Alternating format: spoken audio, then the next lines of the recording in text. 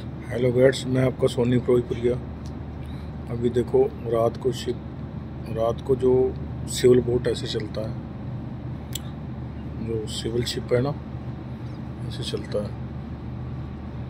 अभी ये सवारियाँ लेके जा रहा है।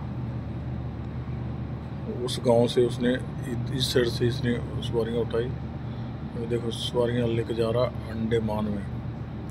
अंडेमान बाज़ार में गाँव के लोगों को लेके जा रहा। अब इनका कॉस्ट होगा दो सौ ढाई सौ, बस ऐसे।